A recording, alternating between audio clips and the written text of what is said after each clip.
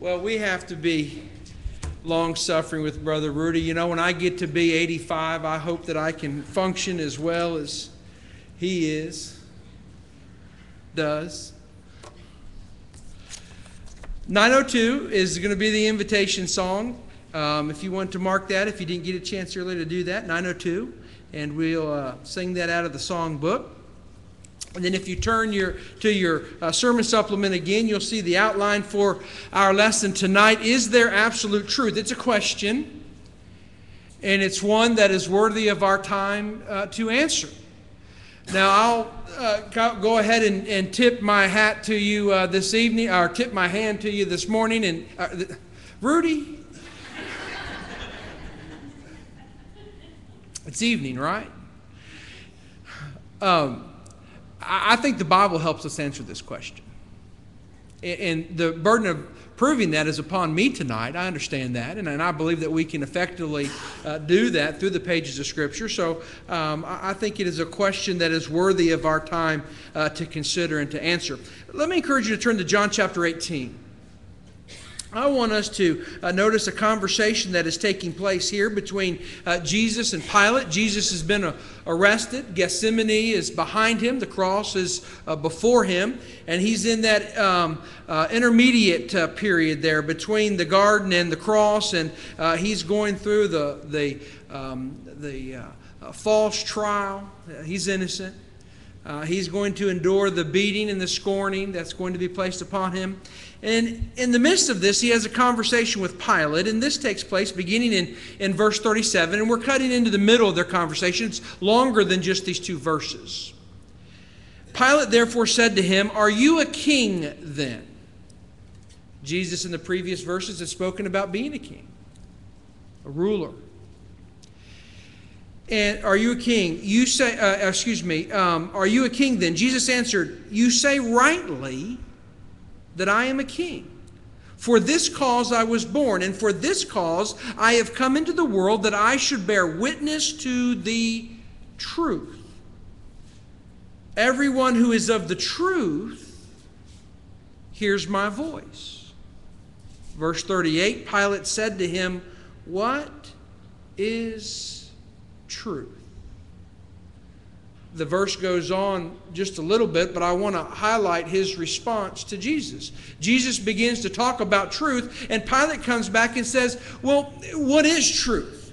How can we define truth? How can we understand truth? How can I know that what you're saying is truth? How can any of us come to a reasonable understanding of what is truthful? Now, it's an honest question, and I'll go so far as to say this it's a fair question course, Pilate isn't one who wants to see. He's going to find him innocent, but he's still going to be turned over to the people. But Pilate isn't one who's reaching the point where he is saying, Well, yeah, I guess you're right. There is truth. He's not there.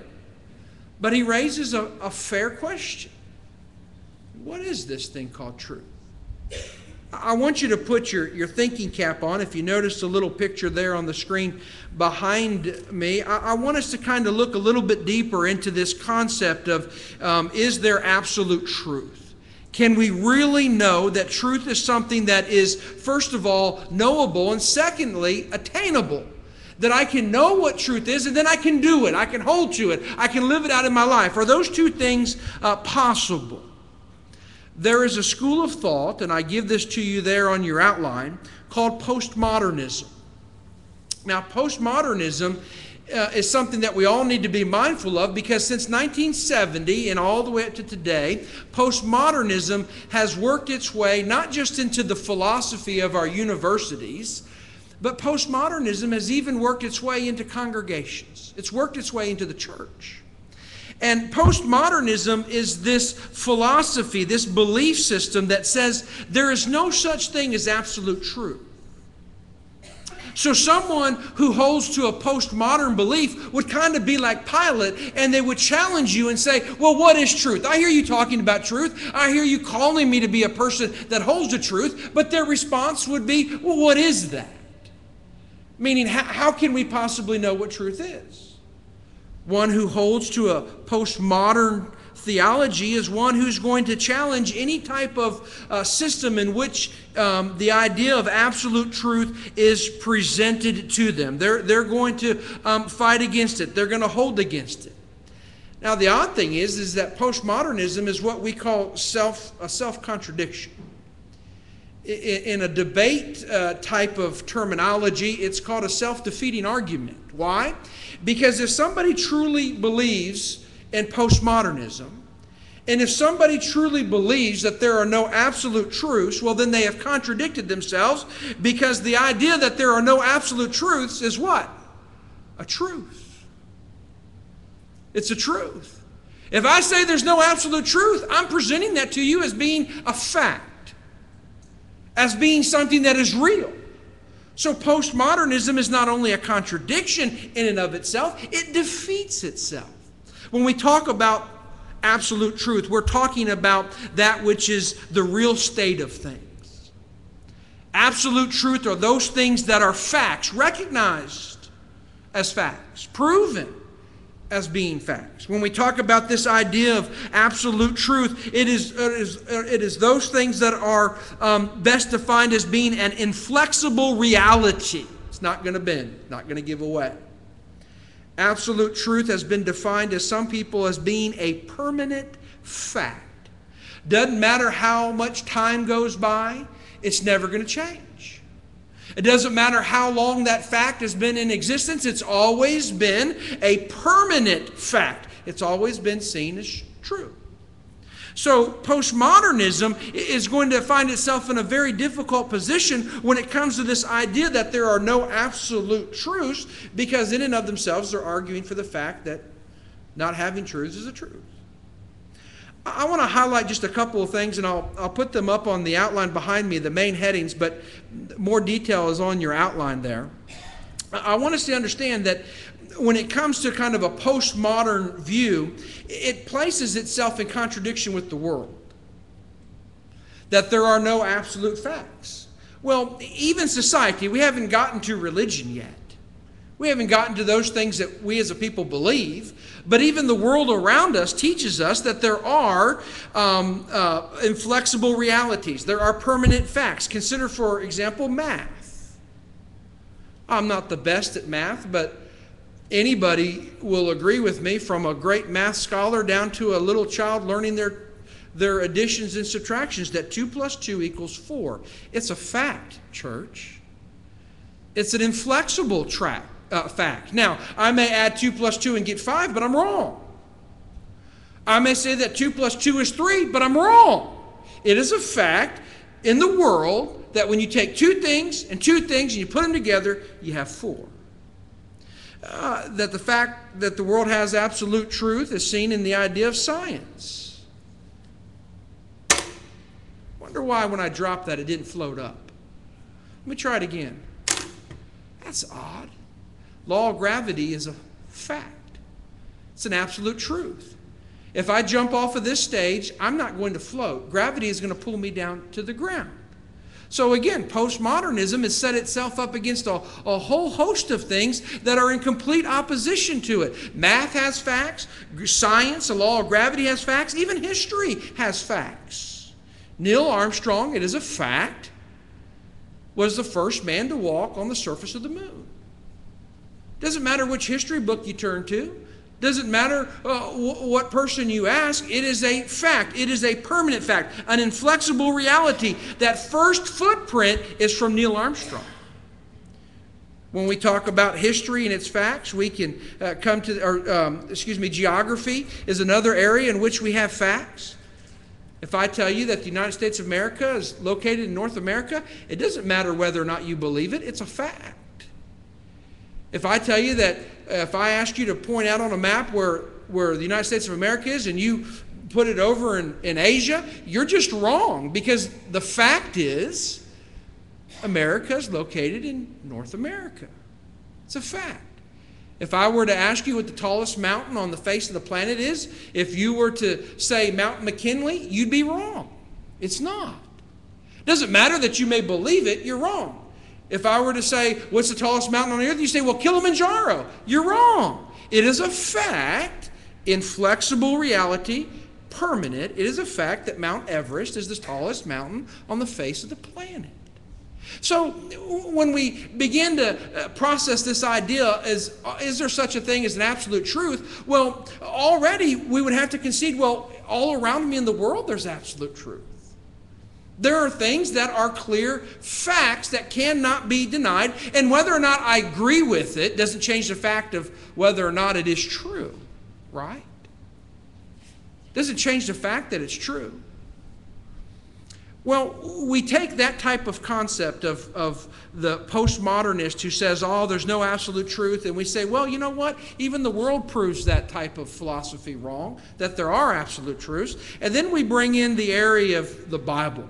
We, we bring in the area of, of religion. The Bible even affirms the fact that there are absolute truths. And the Bible gives us the understanding that these absolute truths are knowable, that we can understand them that we can reason from them, that we can follow them, that we can teach them to other people. I can teach you in a geography class that Mount Everest is the tallest mountain. You can learn it and know it. I can teach you in, in a math class that 1 plus 1 is 2 and 2 plus 2 is 4. I can teach you those facts. Well, the Bible says that there are facts in a spiritual realm that you can be taught, that are knowable, that are true, and you can live by. I want to highlight just a, a few of these uh, this evening. In Proverbs 23 and verse 23, if there's no such thing as absolute truth, the psalmist got it wrong. Because it's the psalmist who says, Buy the truth and do not sell it. Also, wisdom and instruction and understanding. Well, listen, if there's no such thing as truth, absolute truth, inflexible reality, a permanent fact, then what is the psalmist talking about? I don't want to buy something that's wrong. Why should I invest myself in something that's not going to be matter, that's going to be, you know, uh, irrelevant to me? The psalmist is talking about absolute truth. And his encouragement is buy it, get it, live by it, have it, obtain it in your life. Be a person of truth. And whatever you do, don't get rid of it. Don't sell it. I don't think you'd have to convince the psalmist that there's a thing called absolute truth.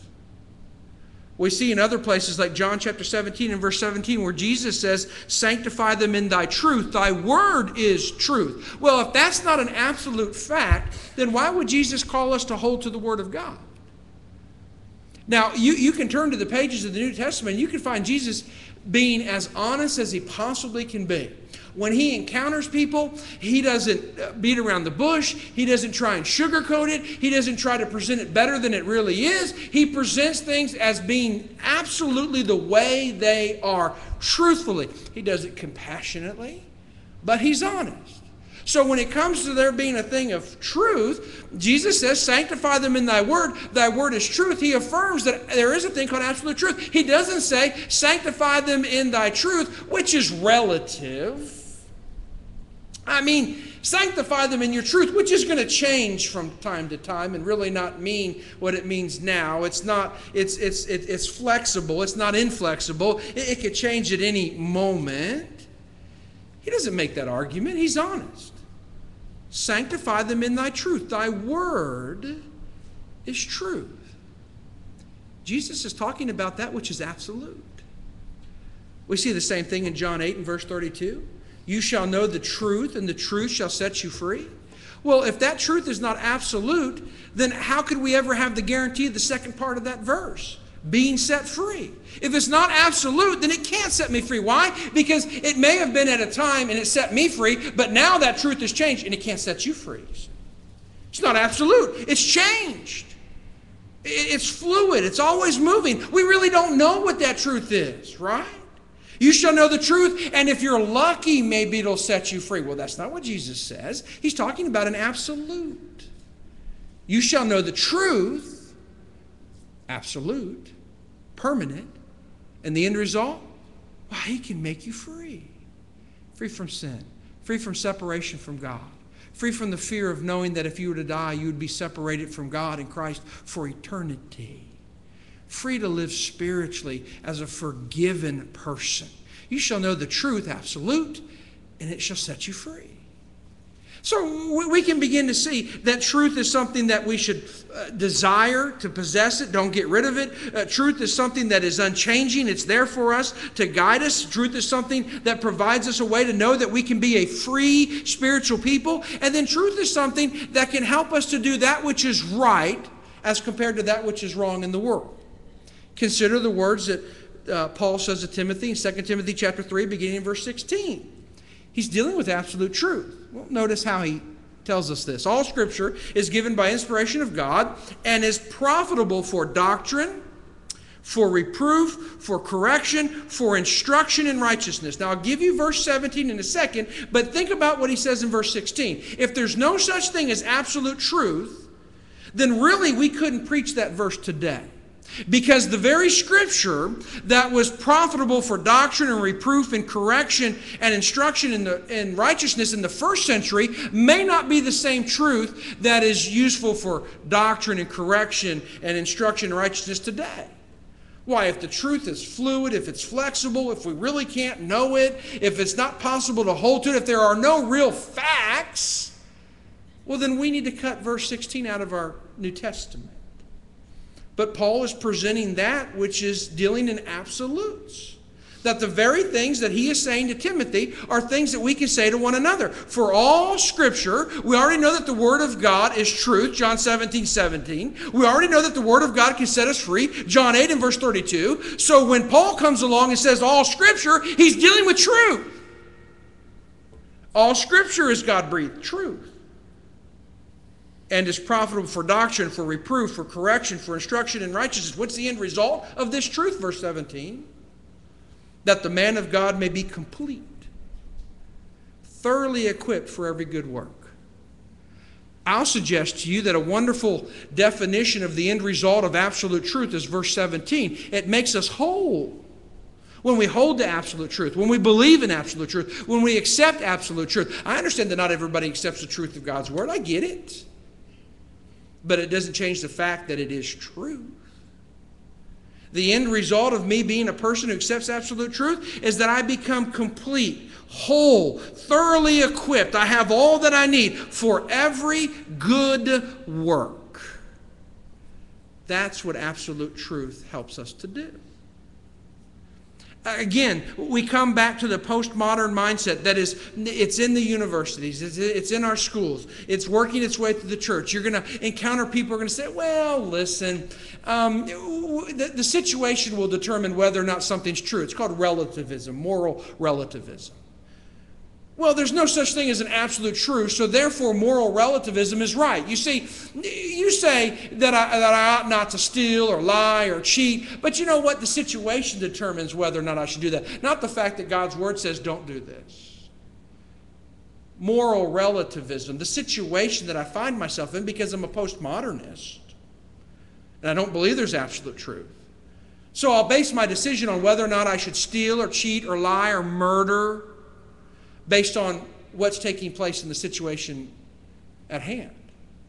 Does that sound anything like 2 Timothy chapter 3 verses 16 and 17? Does that sound remotely close to anything that the proverb, the writer of Proverb 23, 23 is saying when he says, buy the truth and don't sell it? Doesn't sound that way to me. Does it sound anything like Jesus is saying as a people who are set free by the truth? And John 8 and verse 32 doesn't sound like it to me. What about John 17, 17? It kind of just obliterates that verse, doesn't it? Sanctify them in that truth. Thy word is truth. No, uh relativism is true. Not what your word says, God, what the situation around me dictates. That's where I'll determine truth. One cannot be, honestly, one cannot be a proponent of postmodernism and yet defend the Word of God. How's that possible? We've already seen that God's Word deals in truth, absolute truth. So it's simply not possible for us. Remember, I told you to put your thinking cap on. It's simply not logical to have that type of mindset that says, well, we really can't know what truth is that it can't be absolute. Remember what I said earlier? That's a self defeating argument. Well, if you argue there's no truth, that becomes a truth. I, I want to leave you th- this evening with some things in Scripture that are presented to us as being absolutes. They don't change. Um, these things that, when attached to the idea, the concept, the reality of truth, are unchanging, are inflexible, are permanent. As one definition of absolute truth says, it's the real state of things, it's how things really are. And I'll suggest to you just a few things here, just a few things to show us that the Bible deals in what we could call absolutes. Here's the first thing that God created everything Genesis 1 and verse 1. It's an absolute. It's presented, in fact, if you turn over to the book of Genesis and chapter 1 and verse 1, it's presented to us as a fact. There's no argument to prove that in the beginning God created the heavens and the earth. There's no long dissertation following verse 1 saying, well, let me argue this fact to try and convince you. It's presented as a fact. In the beginning, God, period. He's the one who's bringing everything into existence. He's the one who created everything. It's presented as an absolute. Again, I understand not everybody accepts it as an absolute, but I also understand that not everybody believes that Neil Armstrong is the first man to walk on the moon. I also understand that there are people out there, as crazy as this may sound, who don't believe that 2 plus 2 is 4. Just because one refuses to accept an absolute truth doesn't mean that it ceases to be an absolute truth. The Bible presents the truth that God created everything. The Bible presents the understanding as a truth that all have sinned. We looked at it this morning, Romans 3 and verse 23. For all have sinned and fall short of the glory of God. The word there, all, is pas. Absolutely everyone. Nobody escapes. For all, everyone has sinned. Again, I don't want to weary you. I understand not everybody agrees with that. It doesn't change the fact that it's a truth, that it's an absolute truth. We can see an absolute in the understanding that Jesus is the way to God. Probably one of the verses that is under the most challenge uh, today in our society is John 14 and verse 6, a very simple verse in which Jesus says, I am the way, the truth, and the life. That's not what gets the verse challenged, it's the second part.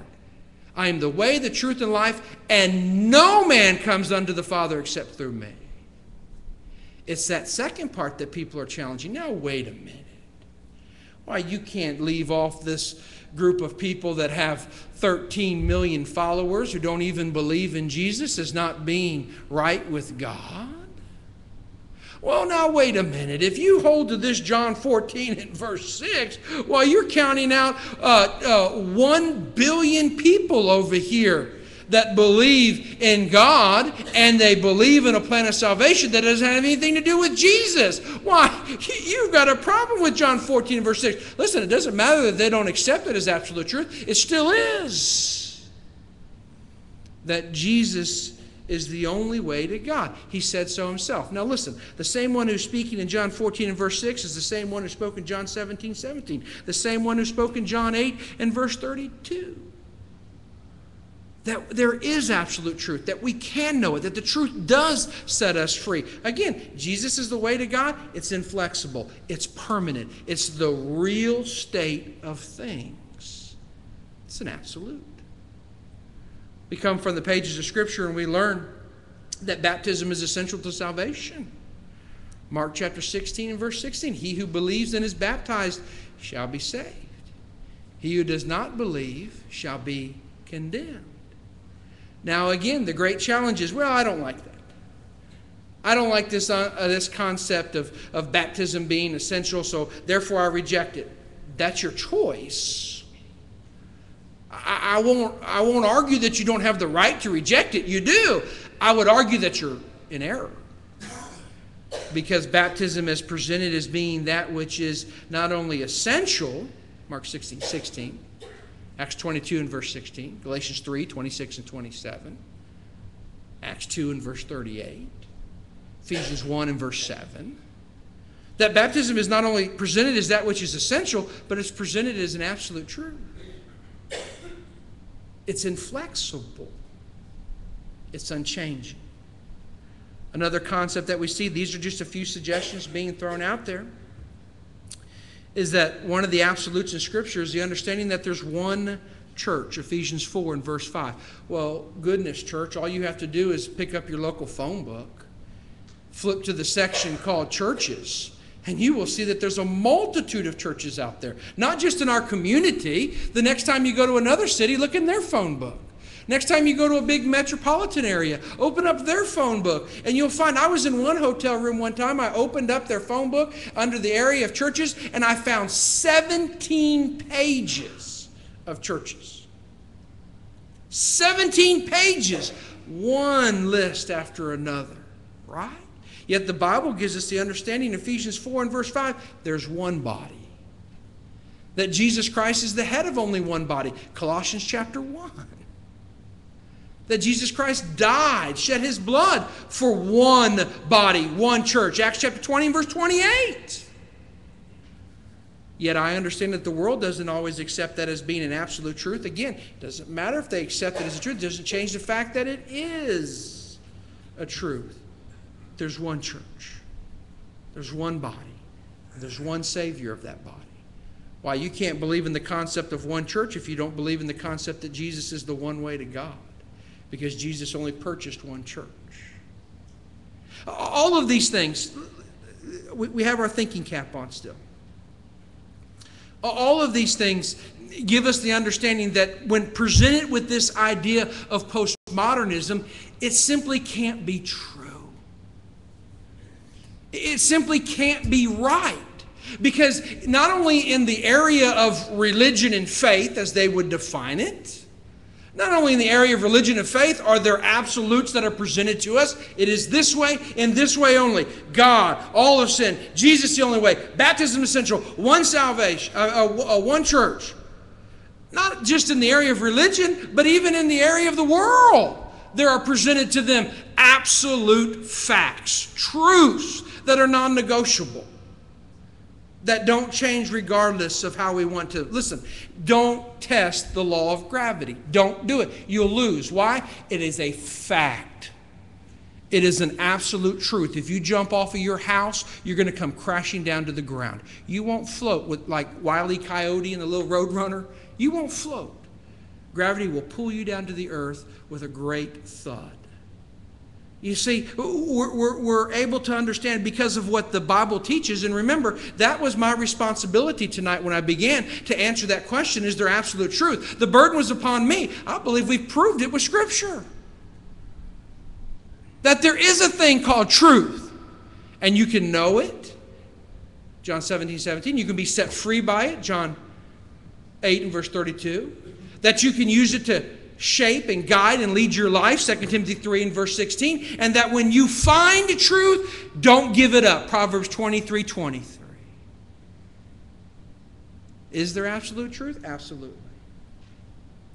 I put this little sentence there at the bottom of your outline.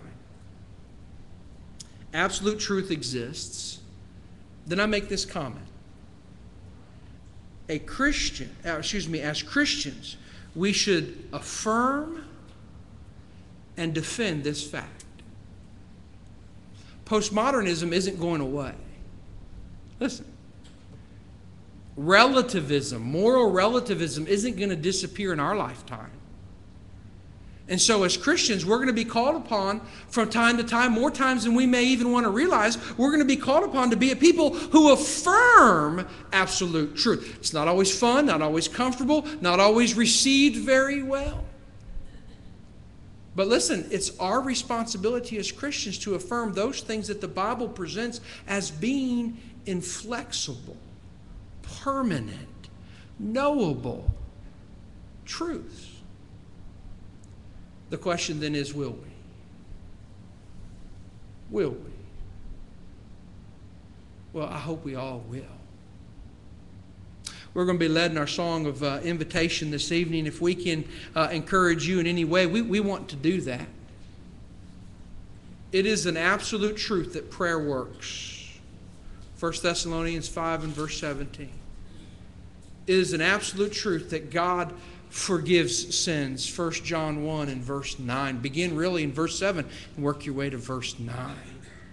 It is an absolute truth that the church in prayer is a powerful powerful body of believers.